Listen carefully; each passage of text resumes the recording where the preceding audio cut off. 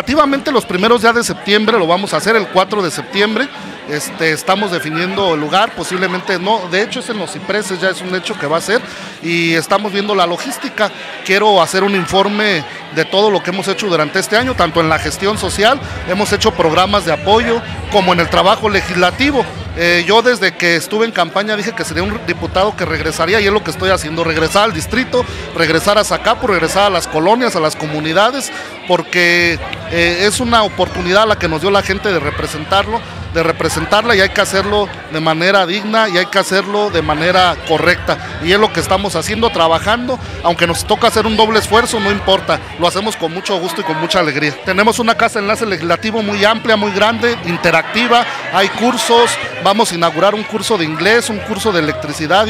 y un, curso de computación, tenemos las eh, instalaciones adecuadas para ello, hay cursos de costura, hay también programas de apoyo a la canasta básica, es una casa que es del pueblo, que sirve para la gente y eso es lo que quise hacer, estar cercano a la gente.